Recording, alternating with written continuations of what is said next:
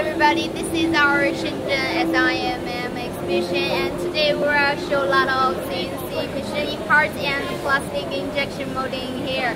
And uh, on the board case we will have the, our business card and the board case and our boost case.